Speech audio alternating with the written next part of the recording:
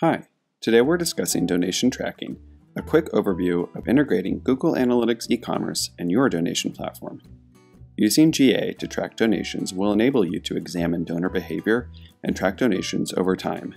Standard e-commerce offers basic information about the donations made on your website, like type of transaction, dollar amount, and the number of times a user visited before donating, for most nonprofits, standard e-commerce will provide enough data to guide site optimization and donor appeals.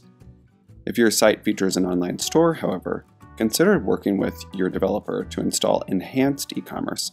Enhanced e-commerce includes detailed user tracking and product performance details that can inform advertising decisions and lead to store optimization.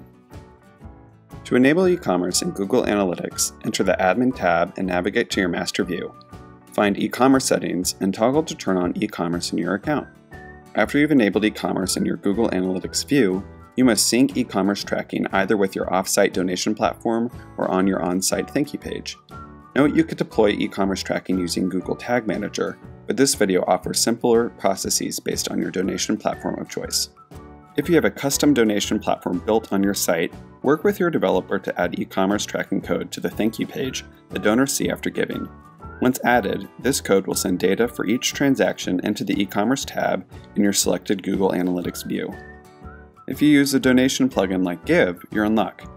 These plugins usually offer Google Analytics e-commerce and even enhanced e-commerce integration with just a few clicks. Search for Google Analytics e-commerce add-ons within your plugin and follow the prompt to connect your account. Off-site donation platforms can also be integrated, but some are easier to configure than others. Refer to our list of best donation platforms for nonprofits, linked below, to see if your donation platform can be integrated with Google Analytics.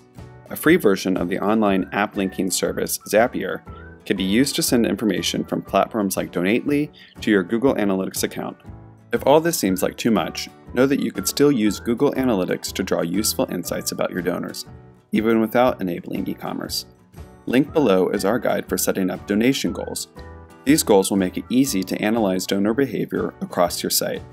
For more tips for maximizing your nonprofit's impact, check out our other resources on wholewhale.com.